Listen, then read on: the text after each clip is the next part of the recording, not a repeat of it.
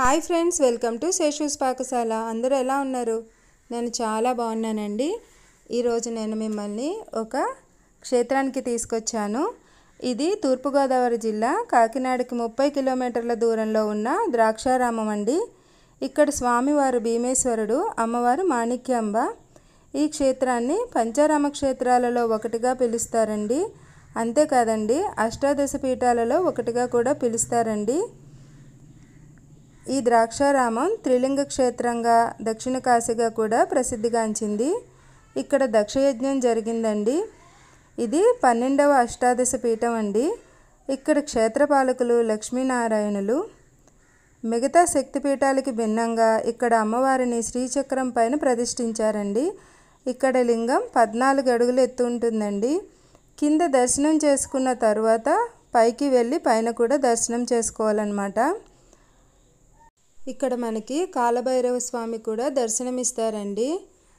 ఆయన దర్శనం ఇచ్చినప్పుడు ఆయన గుడి ఎదురుగా అష్టలింగాలు ప్రతిష్ఠించబడి ఉంటాయి. అంతేకాదండి మనం ఎంట్రన్స్లోనే నాలుగు గోపురాలు నాలుగు గోడల చుట్టూ మనకి కనిపిస్తాయి. ఈరోజు అయితే మాస శివరాత్రి సందర్భాన మేము అనుకోకుండా వెళ్ళామన్నమాట. చూశారు కదా టెంపుల్ అంతా ఎంత చక్కగా ముగ్గులు వేసి అలంకరించారో. చక్కగా పూజలు జరుగుతూ ఉన్నాయండి.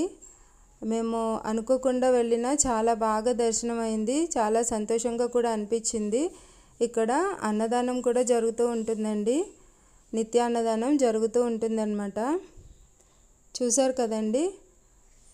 ఈ టెంపుల్ అంతా ఈ విధంగా చాలా బాగుంది. ఇంకొక విషయం ఏంటంటే లోపల వీడియో తీయకూడదు అన్నారు. అందుకే నేను పూర్తిగా లోపల చూపించలేదు. మిగతాదంతా చాలా క్లియర్గా చూపించాను.